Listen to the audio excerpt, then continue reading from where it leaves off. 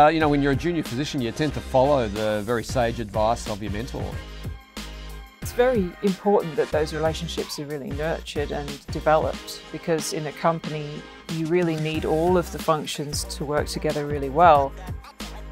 Um, I'm so excited about artificial intelligence because I think it has the potential to uh, remove a lot of the administrative aspects um, of the role.